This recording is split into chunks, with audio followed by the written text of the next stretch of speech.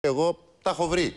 Σε αυτή τη γραμμή είμαι και τα έχω βρει με τη, Κοιτάξτε, την θεωρώ- ισορροπία. Δεν με περιέχει τις- με τις περιπέτεια εταιρείες. Θεωρώ- τρόπος διαπραγμάτευσης που Θεωρώ προτείνει ο ΣΥΡΙΖΑ. επικίνδυνο για τη δημοκρατία και απαράδεκτο, ανάξιο σχολιασμού, το να ταυτίζει ο κύριος Σαμαράς τον εαυτό του με τη σταθερότητα, πολύ περισσότερο με την Ελλάδα.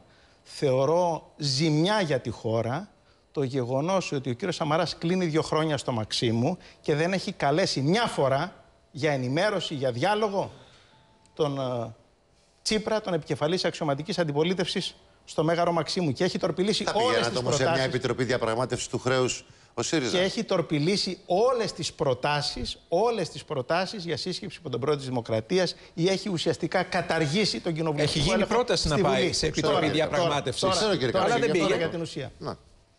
Για την ουσία. Ελάτε, Η χώρα, συζητάμε. κύριε Λιριτζή, χρειάζεται, έχοντας βιώσει τις καταστροφικές συνέπειες της ασκούμενης πολιτικής, αλλά και 40 χρόνια διακυβέρνησης από τη Νέα Δημοκρατία και το ΠΑΣΟΚ, χρειάζεται άλλη πολιτική, άλλη κυβέρνηση, που να πετύχει καλύτερα αποτελέσματα και στη διαπραγμάτευση, που θα γίνει έτσι κι αλλιώς, διότι την έχουν, δεσ- έχουν δεσμευτεί για αυτήν, με δεδομένο ότι και το χρέος πια ολοφάνερα είναι μη βιώσιμο. Από εκεί και πέρα. Άρα τρεις κάλπες χρειάζεται- ένα μήνυμα ή αρκεί και μία ψήφος μπροστά και είμαστε Σας εντάξει; απαντώ. Ναι. Το κεντρικό πολιτικό μήνυμα θα βγει από την κάλπη των ευρωεκλογών, όπου αντιπαρατίθενται πολιτικές και κόμματα.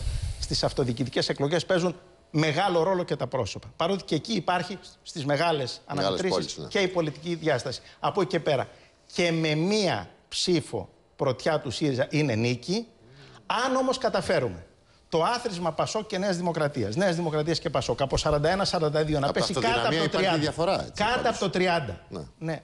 Με ρωτάτε, απαντώ. Ναι. Λοιπόν, αν καταφέρουμε το άθροισμα αυτό των δύο κομμάτων να πέσει κάτω από το 30 ή και κάτω από το 25, θα είναι πολιτικός σεισμός. Δεν θα μπορέσει να σταθεί αυτή η κυβέρνηση και αυτή η πολιτική. Και αν καταφέρουμε, στόχος όχι εξασφαλισμένος, όχι εύκολος, αλλά εφικτός.